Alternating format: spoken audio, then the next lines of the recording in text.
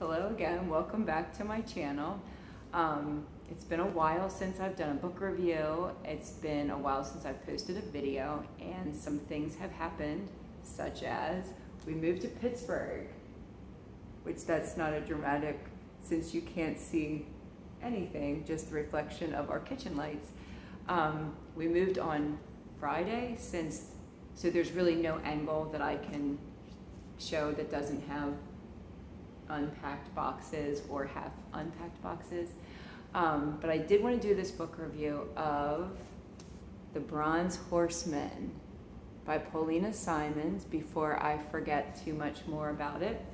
I read it a couple months ago and couldn't really do a review right away because I kept getting emotional when I talked about the book.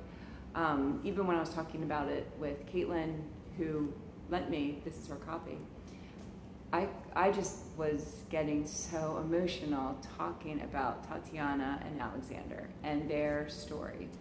Um, it takes place uh, during the early years of World War II, right when the war is starting. That's when this book starts. Alexander's in the Red Army, and Tatiana is the youngest um, daughter in a, a Soviet family.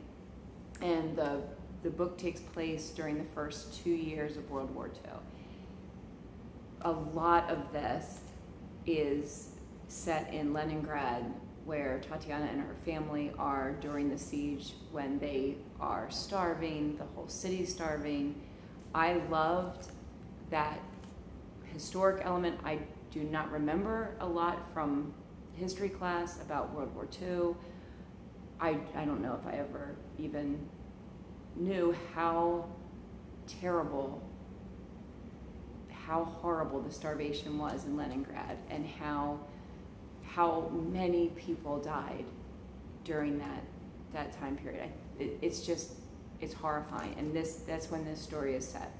So there's this just this tragic tragic setting, and then Tatiana and Alexander and their love story is such a like such a small hopeful warm optimistic um, part of that. There is, there's a part, they're kept apart by kind of a contrived, I thought, obstacle. I really didn't understand why that obstacle was so impossible to overcome. So that was a little frustrating. But it, their relationship was so dear. They had these kind of like morbid jokes back and forth.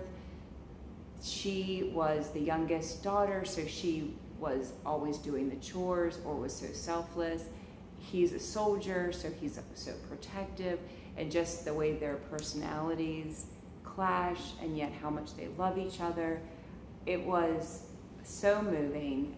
Um, that, and then when they do finally, I mean, I don't think this is really a spoiler alert. I mean, they do get together um, towards maybe the back part of the book, and then they're happy together for like a long time. Like you get a good chunk of time with them being happy together, and then of course, um, more bad stuff happens. I don't, I don't want to spoiler alert, but at the end, I just cried and cried, and every time I think about it or talk about it, I just get really emotional. And I feel as if Tatiana showed her love to Alexander that was very true to who she was, which was this selfless, giving person and he showed his love for her with his his soldier protective um, sacrifice.